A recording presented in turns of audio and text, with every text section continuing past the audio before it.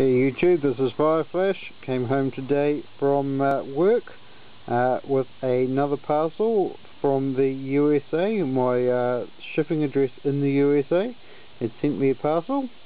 Um, this was an eBay purchase I made for a set of the uh, Canada exclusive and I think also Brazil, Singapore, Malaysia, uh, Japan uh, 2012 Road Racer Series after watching uh, one of Wills and Thang's uh, videos where he picked up a second set to open.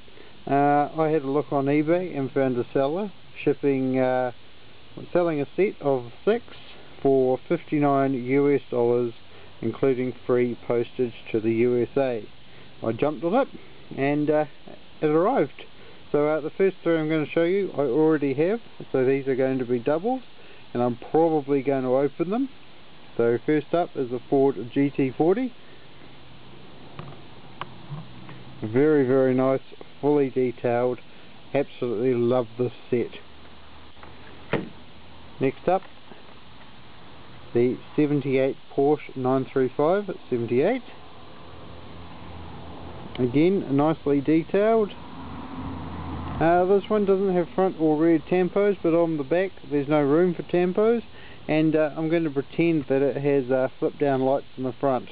I just really really want to open this one, so uh, I'm breaking all my rules. Next up we have uh, James Garner's Copo Corvette, very very nice, fully detailed.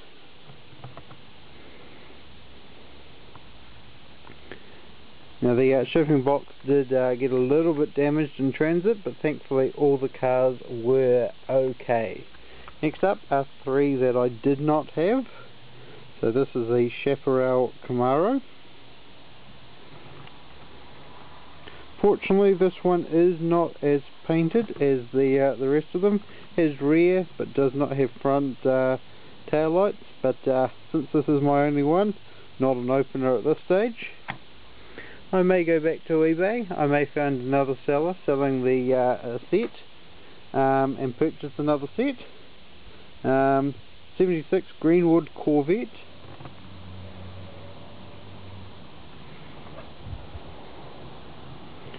Very very nice, love this uh, cast or the look of the casting.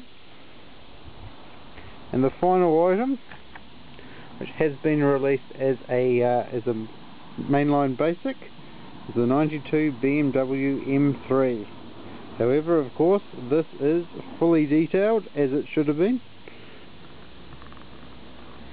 and uh, has the nice M3 uh, racing colours and of course metal metal real rider tyres.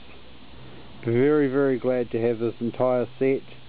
Um, nice price as well. Not going to complain about the price. Uh, came to just over 100 New Zealand dollars uh, landed in New Zealand.